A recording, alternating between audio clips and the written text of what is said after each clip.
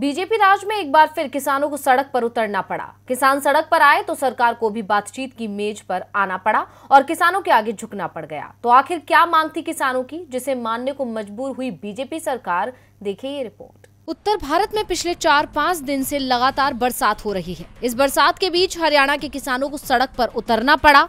किसानों की मांग धान खरीदी को लेकर थी।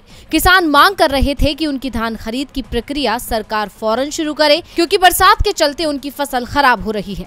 जब सरकार ने किसानों की मांग नहीं मानी तो शुक्रवार से किसान सड़क पर उतर आए।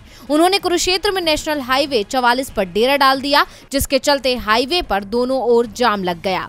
किसानों के प्रदर्शन को लेकर रात में ही पंजाब हरियाणा हाईकोर्ट में मामले की सुनवाई का फैसला कर लिया। देर रात तक चली सुनवाई में हाईकोर्ट ने नाराज़गी ज़ाहिर करते हुए तुरंत ही मामले के समाधान का निर्देश दिया।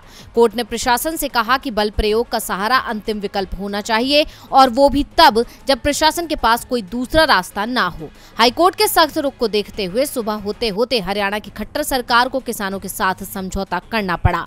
इसके बाद किसानों ने नेशनल हाईवे से अपना प्रदर्शन वापस ले लिया। किसानों ने आज पूरे हरियाणा बंद का भी आह्वान किया था, जिसे अब टाल दिया गया है। भारतीय किसान यूनियन चढ़ूनी के नेता गुरनाम सिंह चढ़ूनी ने कहा कि हरियाणा सरकार ने अब कहा है कि अनाज मंडियों से धान को उठा लिया जाएगा, लेकिन आधिकारिक खरीद एक अक्टूबर से ही शुरू होगी, जिसका ऐलान सरकार ने पहले किया था। अब ये सरकार की परेशानी है कि वो एक अक्टूबर तक अनाज का स्टॉक कहाँ करती है। इसके साथ ही जिन पाँच जिलों में उपज ज़्यादा हुई है, वहाँ पर भी खरीद की सीमा छह से आठ क्विंटल प्रति एकड़ बढ़ा दी गई है। दरअसल किसानों का कहना था कि सरकार धान खरीदी में देरी कर रही है। किसानों को डर था कि उमस और बारिश से उसकी धान की फ़सल खराब हो जाएगी। अधिकांश किसानों के पास फ़सल के भंडारण की जगह नहीं है, इसलिए राज्य सरकार को जल्दी ही फ़सल खरीद शुरू कर देनी चाहिए। किसानों का दावा है कि पहले ही अम्बाला कैथल और दूसरे जिलों में किसानों की सैकड़ों क्विंटल फ़सल खराब हो गई है। फ़िलहाल किसान सड़क से हट गए हैं।